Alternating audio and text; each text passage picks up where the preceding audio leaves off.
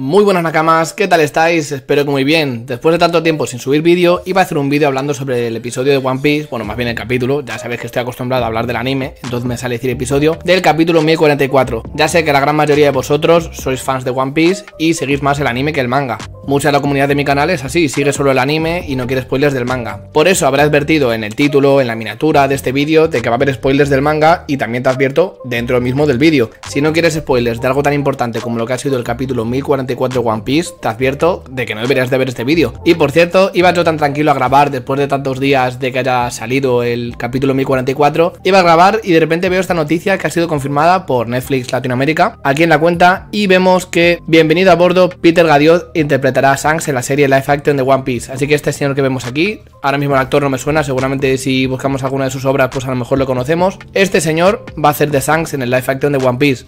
Venía a hablar de otra cosa, pero me he encontrado con esto, pues ya os lo muestro. Y sabéis lo que pasa, Nakamas. Ha sido tanta emoción, tantas cosas. Por cierto, deberéis ver este vídeo porque está bastante gracioso. Ha envejecido un poco mal. O bien, quién sabe. Si lo veis entero, a lo mejor entendéis por qué ha envejecido bien, entre comillas.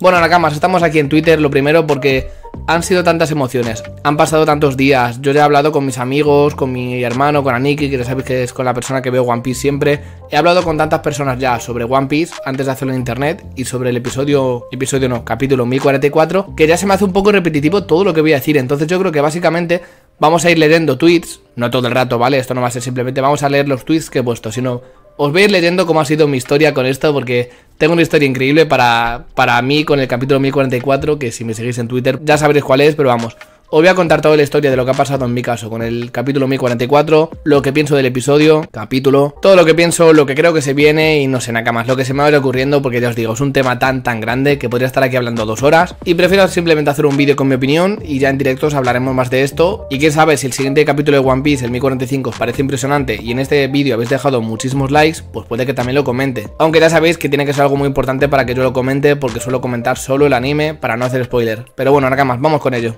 Aquí empieza mi historia, Nakamas. Aquí empieza mi historia con el capítulo 1044. Creo que me he comido spoilers del capítulo 1044. Esto lo dije el 24 de marzo a la 1 y 17 de la mañana, ¿vale? De aquí de España. Me llegaron comentarios al canal Nakamas en el vídeo ese que os he enseñado antes, que os he dicho que estaba interesante. Pues hago un comentario en plan, ¿sabes que la fruta de Luffy? De nuevo os advierto que estos son todos spoilers, así que si no queréis spoilers, es tu última oportunidad. Salte del vídeo. ¿Sabes que la fruta de Luffy es una zoa? ¿No? Algo así, un comentario en plan de el vídeo mío sobre que la fruta de Luffy, que es paramecia, no es logia pues ni una ni otra.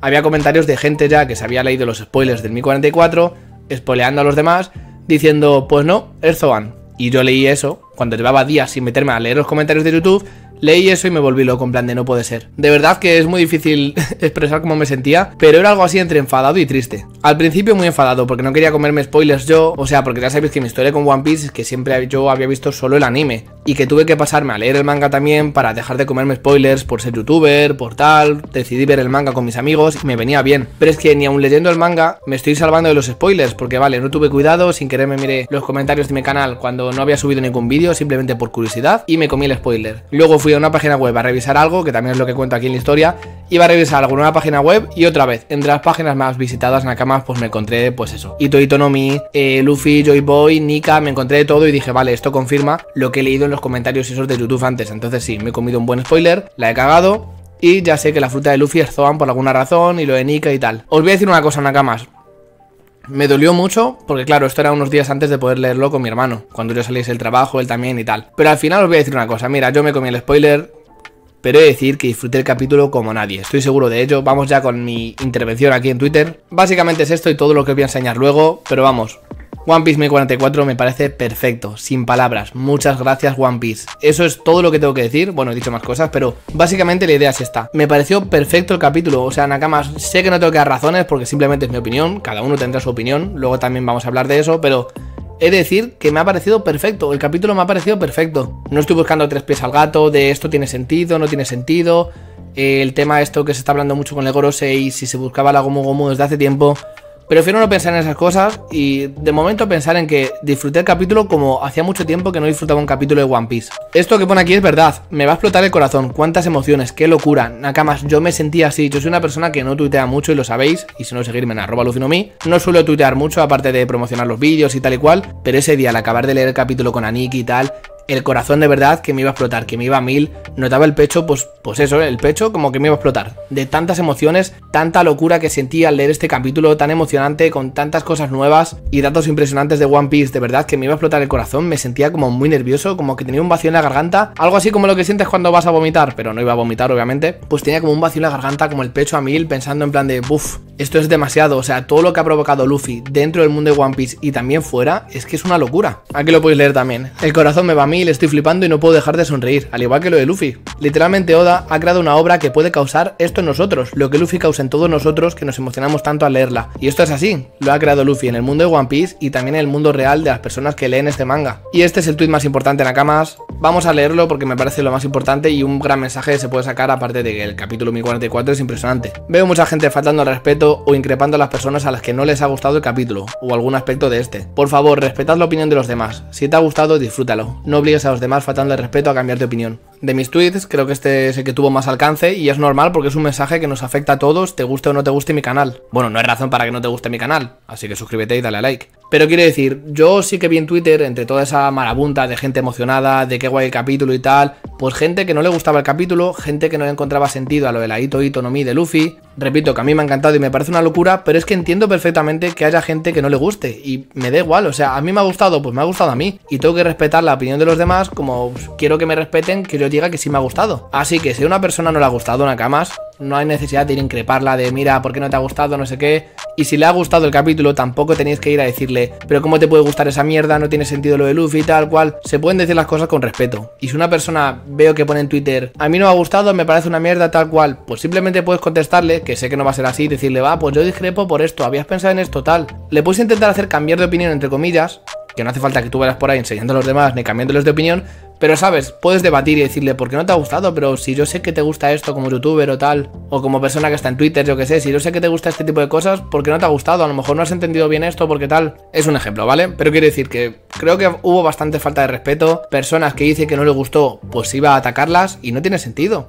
Si un fan de One Piece no le ha gustado lo que pasó en el One Piece 1044 en el capítulo, pues ya está dejadle a él, que es una persona con sus gustos, que ha visto One Piece tanto como vosotros, que puede saber más o menos de vosotros, y no le ha gustado, pues no le ha gustado, simplemente su opinión, Nakamas. Veo que la gente se, se ve muy influenciada por la opinión de los demás. ¿A ti te ha gustado? Vale. ¿A ti no te ha gustado? Pues vale. No hace falta ir detrás de los demás insultando, faltando al respeto y tal. Y tal y como digo, ¿quieres que cambie de opinión sin ninguna maldad? Hazlo debatiendo, habla con él y disfrutad hablando de la serie. Pero desde luego que con faltas de respeto no está para nada bien. Bueno, esto es el día siguiente que me levanté algo tarde, la verdad, porque había dormido mal y bueno, día 1 tras leer One Piece 1044. Sigo sin creerme lo que leí ayer. Y voy a hacer un pequeño resumen a camas de lo que fue para mí el capítulo y es que me pareció, tal y como he dicho antes, increíble me parece una locura que a estas alturas de One Piece, pues que te digan que Luffy nunca ha tenido la fruta que ha tenido. O sea, Luffy sigue siendo de goma, ¿vale? Y hay un millón de temas que hablar, que a lo mejor hago un vídeo mucho más extenso y preparado. Esto es así un poco hablar con vosotros. Pero un millón de temas que hablar porque se dice lo de Gorosei, que haya sido un fallo argumental, la recompensa que podría tener Luffy al salir de Wano, que puso un tweet sobre eso y ahora lo vamos a ver en este vídeo. Eh, quiero hablar también sobre los niveles de poder de One Piece en el sentido de que hay mucha gente que se piensa que Luffy ya es un dios, cuando no.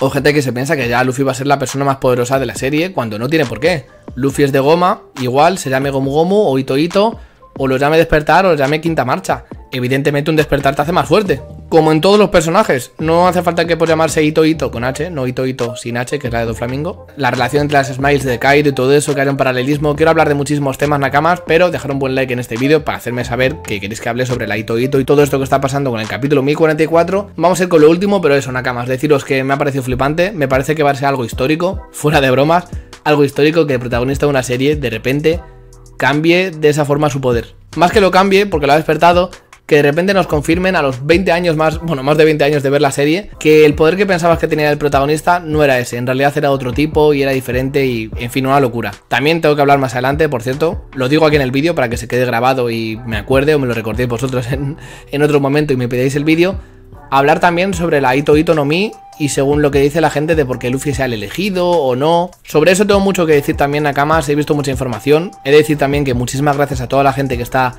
tuiteando y todo eso porque os voy a robar las ideas. No, no, no, es broma. Quiero decir que me siento muy orgulloso porque la comunidad de One Piece es increíble y pienso que muchísima gente ahora mismo tuitea, comparte sus ideas, se da cuenta de cosas tal. Y eso también es gracias a la obra de Oda y a todos vosotros que escribís en Twitter, que escribís teorías, que buscáis, investigáis. Así que muchísimas gracias a todos. Y nada, vamos con el último tweet que puse en Akamas, que es simplemente esto. ¿Alguien ha pensado en la recompensa que tendrá Luffy tras Wano si todos son conscientes de lo que ha pasado? Importante eso. Aquí pongo el sí que es un condicional, si todos son conscientes de lo que ha pasado. Me tiro un triple. Va a ser la más alta de la historia de One Piece superando a Roger.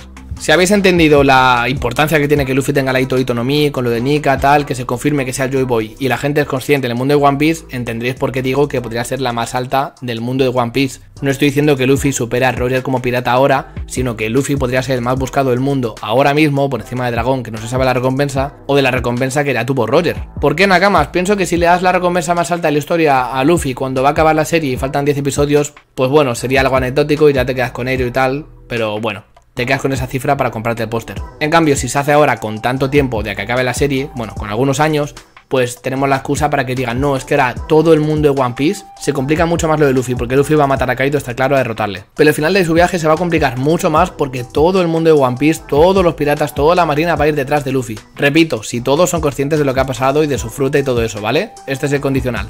Yo pienso que ayuda más a la obra y es más útil si le ponen la recompensa altísima a Luffy, altísima, altísima, altísima ahora, por encima de Roger. Por eso, porque tendría utilidad para el guion de que vayan todos a por él ahora, complicarle el final del viaje. Vale, has derrotado a un Yonko, has derrotado al Yonko más fuerte en teoría, que es Kaido, pero lo que te queda de viaje va a ir todo el mundo a por ti y se te va a complicar lo de ser el rey de los piratas de aquí a unos años, que es lo que queda de serie, ¿vale? No unos años de la serie de Luffy, vamos, sino unos años nuestros viendo la serie. Para mí tiene más utilidad si la recompensa la tiene Luffy ahora, ahora vendemos póster y ya lo tenemos todos. Pero vamos, simplemente es mi opinión, es un triple, pienso que así pues sería útil. Y nada, Nakamas, lo dicho, que seguidme en Si no me seguís, dejar un buen like en el vídeo, suscribiros y por último hacer un resumen de nuevo. Me ha encantado, de verdad, estoy cansado de decirlo, por eso no, no he podido explayarme mucho con mi opinión, pero quiero deciros eso, que me ha encantado, me ha parecido perfecto. Lejos de mirar los defectos de la serie y tal, es que no puedo decir nada. Lo único que no quiero, que no deseo, es que Luffy luego esté riéndose todo el rato en esa forma.